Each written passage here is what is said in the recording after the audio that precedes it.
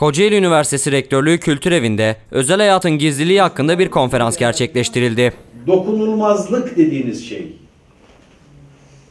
insan olmakla alakalıdır. Konferansa konuşmacı olarak Kocaeli Üniversitesi İlahiyat Fakültesi Dekanı Profesör Doktor Abdullah Kahraman katıldı. Kadar iki tane kişi önemli oluyor.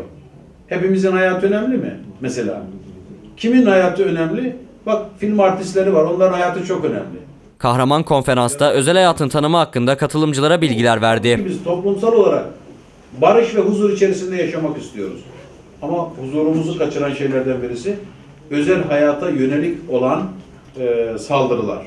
Etkinlik sonrası mikrofonlarımıza konuşan Profesör Doktor Abdullah Kahraman etkinlikle ilgili detaylar aktardı. Biz de insan haklarının en önemli konusu olan özel hayatın gizliliği ve korunması konusuyla başlamış olduk.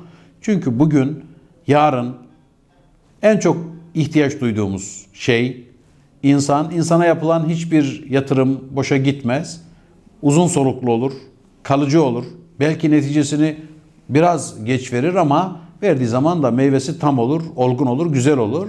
Profesör Doktor Abdullah Kahraman'ın ardından konuşan Kocaeli Üniversitesi Rektörlüğü Kültür Evi Müdürü Yıldırım Karadeniz, bu etkinliğin Kültür Evi'nde gerçekleşen ilk etkinlik olduğuna dikkat çekti. Kültürel olarak e, ilk etkinliğimizi gerçekleştirdik. E, Kocaeli Üniversitesi İlahiyat Fakültesi Dekanı Profesör Doktor Abdullah Kahraman hocamızın e, özel hayatın gizliliği ile ilgili konferans verdi. E, Katılım çok yoğundu. Öğrencilerimiz halktan katılımlar oldu. Çok e, verimli, çok faydalı bir toplantı oldu, konferans oldu. Hocamıza teşekkür ediyoruz.